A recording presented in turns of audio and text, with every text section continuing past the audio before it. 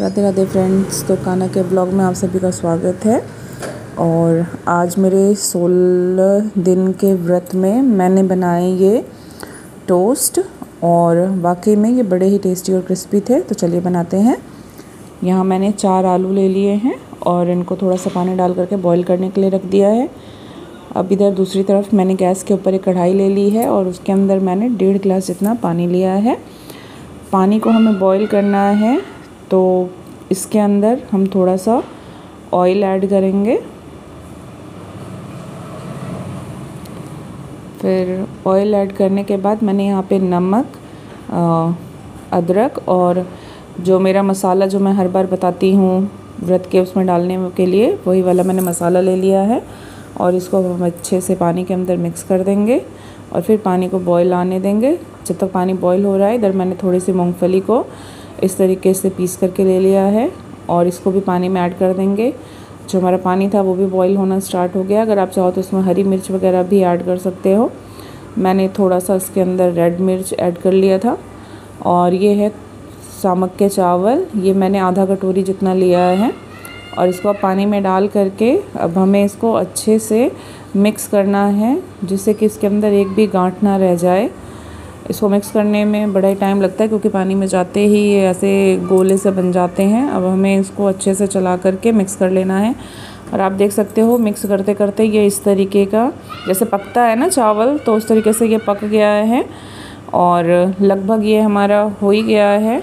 तो हमने जो आलू बॉईल करने के लिए रखे थे ना, वो भी बॉईल हो चुके हैं। तो अब उनको हम निकाल लेंगे और मैश करके फिर ये जो हमारा आलू वाला मिक्सचर है, इसको भी हम अपने मसाले के अंदर अच्छे से मिक्स कर देंगे। और जो अभी हमारा मसाला है ना, ये बन के तैयार हो गया है तो इसे अब एक तेल लगे हुए थाली के अंदर निकाल लेंगे। तेल यहाँ पे मैं मूंगफली वाला यूज़ करती हूँ।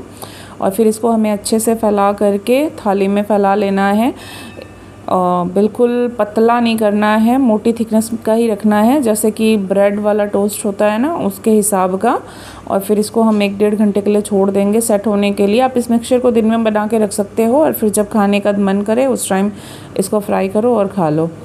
तो अब जो ये हमारा मिक्सचर था, वो अच्छे से सेट हो गया है। तो अब मैं इसको कट कर लूँगी। कट इसको वैसे ही, जैसे हम बर्फ़ी को कट करते हैं ना, बिल्कुल वैसे ही कट करना है, लेकिन थोड़ा चौड़ा।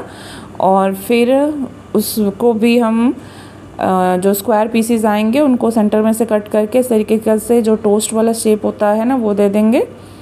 तो मैंने ये सारे आलू जो हैं, आलू नहीं, जो हमारा ये पूरा मिक्सचर है टोस्ट वाला, उसको कट कर लिया है। और अब आप इसकी थिकनेस को देख सकते हो, ये बिल्कुल पतला नहीं है। बिल्कुल मतलब मीडियम साइज़ का है, क्योंकि अगर बहुत ज़्यादा पतला होगा और हम इसे फ्राई करेंगे तो ये फिर टूट जाएँगे। इसलिए इनको इतना मोटा होना तो ज़रूरी है। तो अब साथ के साथ मैंने जो ये पैन था वो भी गैस के ऊपर रख दिया है और ये मूंगफली का तेल लिया है। अगर आप चाहो तो इसके अंदर देसी घी भी यूज़ कर सकते हो।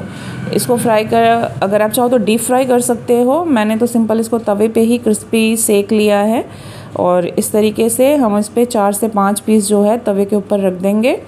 फिर तीन से चार मिनट इसको एक साइड से पकने देंगे अच्छे से, और जब ये एक साइड से थोड़ा ब्राउन हो जाएगा, क्रिस्प हो जाएगा तो फिर हम इसको फ्लिप करके दूसरी साइड पलट देंगे। और देख सकते हैं आप कितना अच्छा कलर आया है, और इसको मतलब ये चिपकता भी नहीं है बहुत ज़्यादा, बड़े ही आराम से ये छुट भी जाता है तवे पर से। और इसी तरीके से हम अपने सारे जो टोस्ट हैं ना, इनको क्रिस्पी बिल्कुल करारे होने तक सेक लेंगे अच्छे से। एक साइड से ये हो गया है। दूसरी साइड कम से कम तीन से चार मिनट एक तरफ़ लगते हैं तो दूसरी तरफ़ भी उसको तीन से चार मिनट तक हमें सेकना है। ये मैंने साइड में जो छोटे वाले पीस थे, वो भी रख दिए थे। और अब हमारे जो टोस्ट हैं ना सारे, वो बन करके तैयार हो गए हैं। और आप देख सकते हो कितने यमी लग रहे हैं। अब धनिया था नहीं, इसलिए मैंने सिंपल टमाटर की चटनी बना ली है। आपके पास धनिया पुदीना हो तो धनिया और पुदीने की चटनी बना लें। और अगर मेरी ये रेसिपी अच्छी लगे तो प्लीज़ इसको लाइक करें। अगर आप मेरे चैनल पे न्यू हैं तो आप मेरे चैनल को सब्सक्राइब भी कर सकते हैं और साथ में जो बेल आइकन है, उसको प्रेस कर दें ताकि आपको इस तरीके की अच्छी अच्छी वीडियोस के नोटिफिकेशन जो है मिलते रहें। सुखाओ पियो इन्जॉय करो।